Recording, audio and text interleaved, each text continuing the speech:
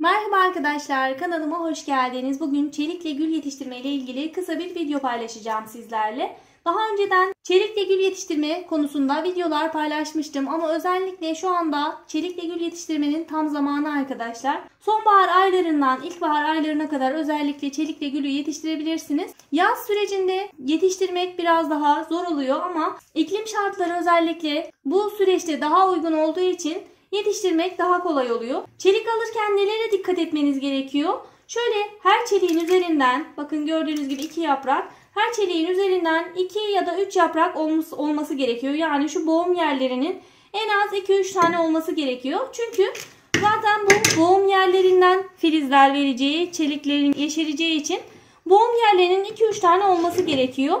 Yani tam bir uzunluk söyleyemem size. Güllerin tipine göre değişiklik gösterebilir. Şu sürgün yerlerinin yani en az 2-3 yaprağın olması gerekiyor. Buna dikkat edebilirsiniz. Bakın şurada 3 yaprak var. Şuradan kesiyorum. Şöyle altını da kesiyorum.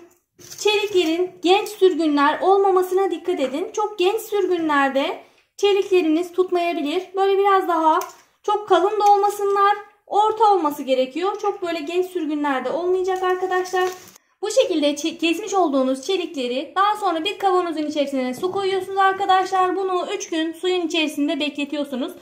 Suyun içerisine bir tane aspirin de koyabilirsiniz. Aspirin de özellikle köklenmesinde çok çok fayda sağlıyor. Daha sonra toprağa dikeceğiz. Gül çeliklerimi bir hafta kadar suda beklettim arkadaşlar. İyice suyunu aldılar. Şimdi bu şekilde toprağa dikeceğim. Şöyle bir saksı kullanıyorum. Bu saksının içerisindeki toprakta Kokobit, perlit ve bahçe toprağı karışımından oluşan bir toprak. İyice karıştırdım bunları. Daha sonra bu şekilde çeliklerimi alıp toprağa gömeceğim şöyle arkadaşlar. Bu şekilde gömüp şöyle bastırıyorum biraz.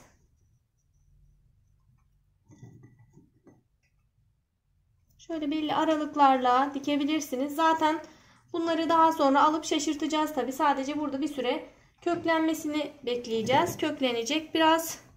Daha sonra İsterseniz bahçeye direkt alabilirsiniz ya da saksıda yetiştirebilirsiniz.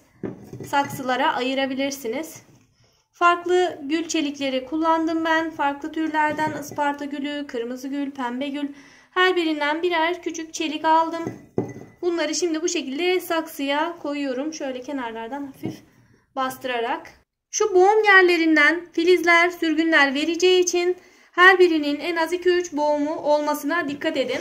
Şimdi bu şekilde yaptıktan sonra şöyle kalan suyu da hafif suluyorum.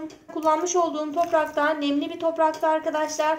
Bu aşamadan sonra toprak kurudukça nemlendirme yapabilirsiniz. Şunu hemen göstermek istiyorum. Bakın bunu yani 10 gün kadar oldu aşağı yukarı. Bakın bu tuttuğu anlamına geliyor. Artık böyle yaprakları çıkmaya başladı yeşil yeşil. Bu tuttuğu anlamına geliyor. Şunlar da katmerli zakkum e, çelikleri. Bakın bu yaprak vermiş olması bunun hemen köklerini oluştuğu anlamına gelmiyor. Sadece bu kendini tuttuğu anlamına geliyor. Bu şu an kendini tuttu ama sonuçta bu bir gül, bir ağaç. Yani 10 gün içerisinde köklenmez arkadaşlar. Şu an sadece bu yaprak vermiş olması bu bitkinin kendini bu toprağa adapte ettiği anlamına geliyor. Kendini alıştırmış artık bu toprağa. Bu aşamadan sonra gelişim gösterecektir. Ama tabii ki 10 gün içerisinde köklenme olmaz. Yaklaşık 1-1,5 ay kadar sürer köklenmesi ama bu aşamadan sonra acele etmeyeceksiniz. Bu şekilde saksıda kalacak. iyice gelişim gösterene kadar, köklenene kadar. Biraz büyüsün. Hemen acele etmeyin. Burada bu şekilde kalmaya devam etsin. Ben bunu bu şekilde direkt balkonda güneş alan bir yerde baktım. Güneş alan bir yere koymaya özen gösterin. Tabii ki e, bizim yaşadığım il e, sıcak olduğu için ben üzerine herhangi bir şey kapatmadım ama soğuk bir şehirde yaşıyorsanız üzerine bir poşet geçirebilirsiniz. Naylon poşet olabilir. Naylon poşet geçirirseniz hem nemli bir ortam oluşur hem sıcaklığın etkisiyle daha hızlı bir şekilde gelişim gösterir.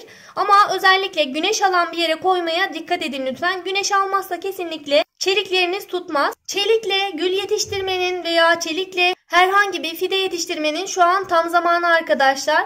Sonbahar aylarından ilkbahar aylarına kadar tam ideal zamanlar çeliklerin gelişim göstermesi için bu bugünleri değerlendirerek siz de gülden çelikler alıp yetiştirebilirsiniz veya işte zakkumdan veya diğer bitkilerden çelikler alıp kendi fidenizi yetiştirebilirsiniz arkadaşlar. Sadece dikkat etmeniz gereken bu aşamadan sonra toprağın nemli kalması. Bakın elinizle toprağa bu şekilde dokunacaksınız. Toprak nemli ise sulama yapmayacaksınız. Çok fazla sulama yaparsanız köklerde çürümeler meydana gelir ve gelişim göstermez. Sulamaya dikkat edin arkadaşlar. Çok fazla sulama yapmayın. Güneş alan bir yere koymaya kesinlikle özen gösterin.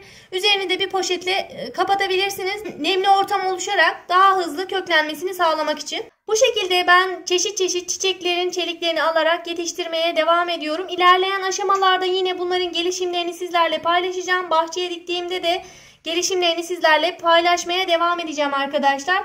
Şimdilik anlatacaklarım bu kadardı. Siz de bu anlattıklarıma dikkat ederek çelikle gül yetiştirebilirsiniz. Dediğim gibi şu an tam ideal zamanlar. Bu fırsatı kaçırmayın. Bugünkü videonun da sonuna geldik arkadaşlar. Yeni videolardan haberdar olmak için kanalıma ücretsiz olarak abone olabilirsiniz. Sorularınız da varsa yorumlara yazabilirsiniz.